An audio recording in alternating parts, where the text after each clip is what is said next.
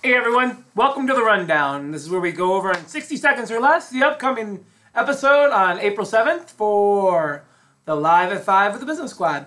So today I want to touch base with you about our topic, which is going to be foodpreneurs. And actually that's going to be for the whole month of April.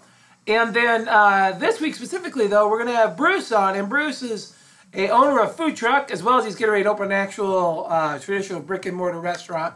And uh, some of the topics of conversation we're going to have is some of the common challenges that restaurant owners face, and also why so many food trucks fail. And hopefully, Bruce can give us some insights onto that, as well as our typical shout outs and boos and hisses that we usually do each week. And uh, also, we're going to continue with uh, the new thing where we have uh, an ending quote for uh, the show as our new segment, as well as our ponderings and other things you've come to know, expect, and love. So, we'll see you at 5 o'clock. YouTube, you know where, because it's where the modern media lives. And uh, we'll see you then. Have a great week, everybody. Take care. Bye bye.